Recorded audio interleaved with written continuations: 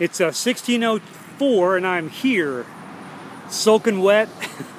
Got caught in the rain twice here at the Thorsby Fire Department.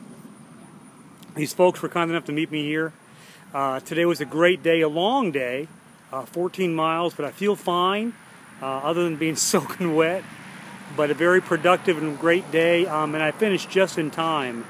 The lightning is starting to show its ugly self, so got here safe and sound. Um, tomorrow it's on to uh, Clanton, and then I'm making my way to um, Montgomery. I'll be there Monday morning. So thank you all for your words of encouragement. Thank you for your prayers.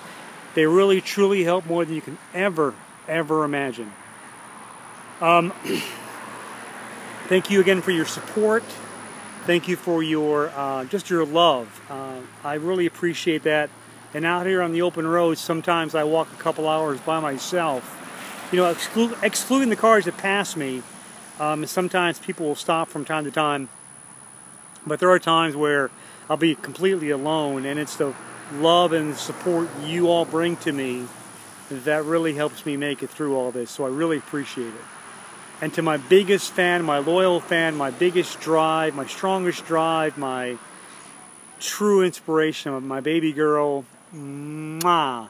Daddy loves you very much. Until tomorrow, marching on and Semper Fi.